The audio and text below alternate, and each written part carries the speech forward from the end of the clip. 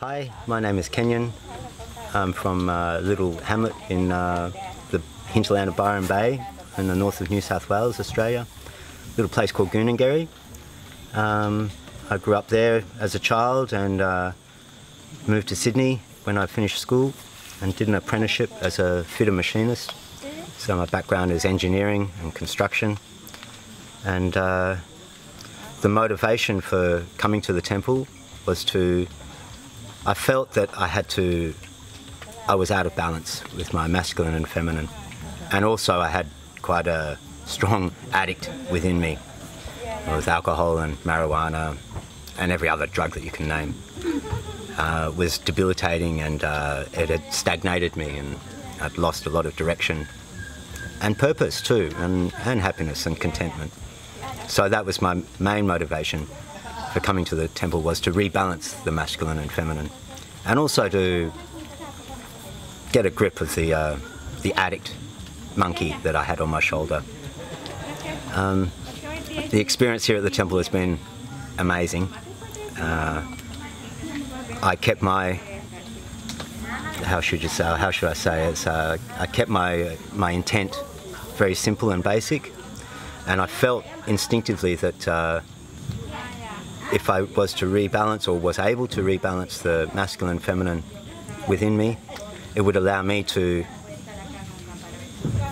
uh, worship myself and the goddess everywhere because I felt from my experience um, in construction it being such a, a, masculine energy and a masculine control, domination, structured sort of environment and so much steel and concrete, I knew that I was out of balance. So that's, that's why I came.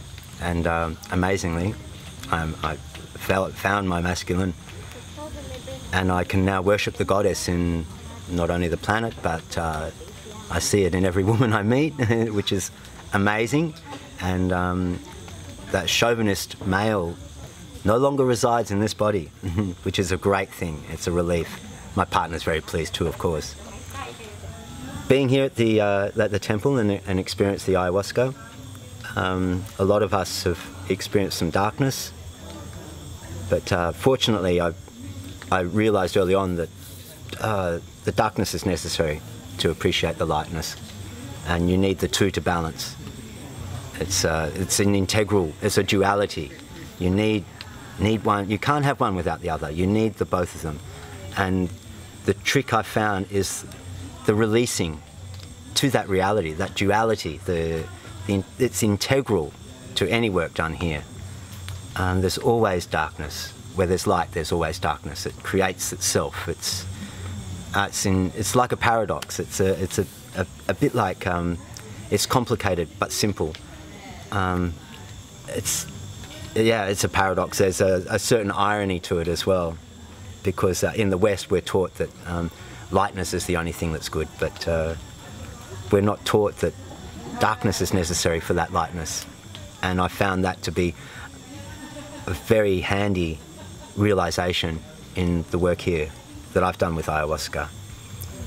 Um, just recently, I had a, um, a, ceremony last night, and my chakras were rebalanced, which I've never experienced before. I've never even been that spiritual, and I don't really consider myself spiritual per se. It's more like a, it's just part of that balance. And as the maestro was rebalancing my chakras, I could hear the the addict monkey at my shoulder going, Kenyon, Kenyon, you can have another joint. You can drink some more beer.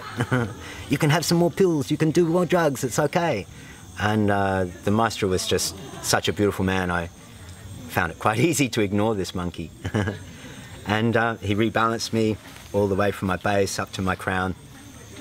And it was an amazing, amazing, uh, revealing, no, freeing experience. and after we'd, he had finished the icaros and I'd hugged him like a brother, like a father, like a, yeah, like a, like a fam familiar. And, uh, and he's moved on to the guy next to me, Troy.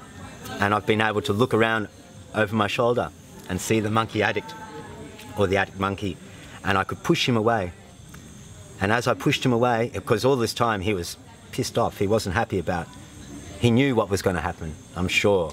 It was obvious. And as I pushed him away, he just evaporated and went into vapor and is no longer on my shoulder. so I'm not that naive to think that uh, I will never take drugs or smoke dope or drink beer or anything like that. But no longer will it rule me. And it's a most freeing feeling. Mm, thank you.